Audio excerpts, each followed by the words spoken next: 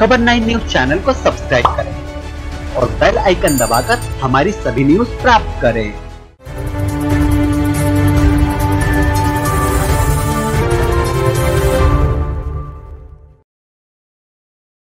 नमस्कार आप देख रहे हैं खबर नाइन और मैं हूँ आपके साथ प्रीति शर्मा।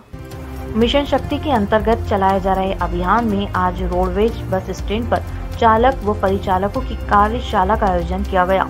जिसमें महिला एवं बालिकाओं की सुरक्षा के उपाय एवं महिला अपराध संबंधित कानूनों के बारे में अवगत करवाया गया।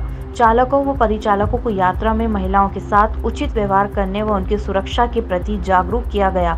इस अवसर पर एआरटीओ दीपक कुमार शाह सहायक क्षेत्रीय प्रबंधक रोडवेज़, आर बी यादव, केंद्रीय प्रभारी सुनील कुमार त्रिवेदी, सुजीत कुमार देश पांडे बाबू राम प्रवीण कुमार, शकील अहमद, प्रेमलाल, संदीप मिश्र सहित बड़ी संख्या में चालक व परिचालक मौजूद रहे।